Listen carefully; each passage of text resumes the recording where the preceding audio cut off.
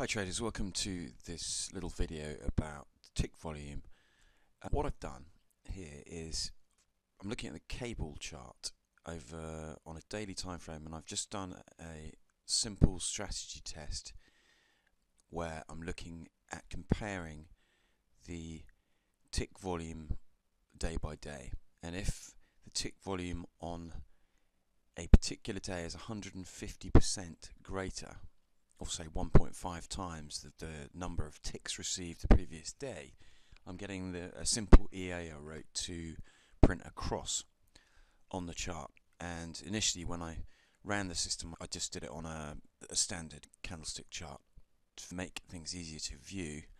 I then overlaid just a standard line graph over it, and it's quite interesting because you can see increases of tick data on the higher time frames are very, very significant in terms of picking or, or, coinciding with major levels of or major tests of support and resistance.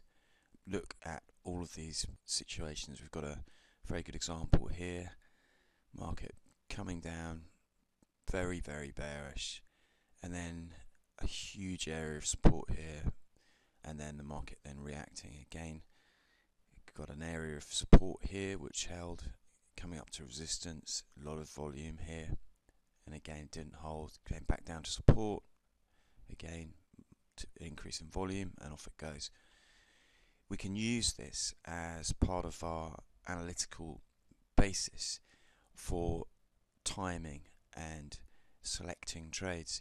And this algorithm to calculate the actual percentage volume increase on the day is actually the same one that's within the FX Algo Trader signal service.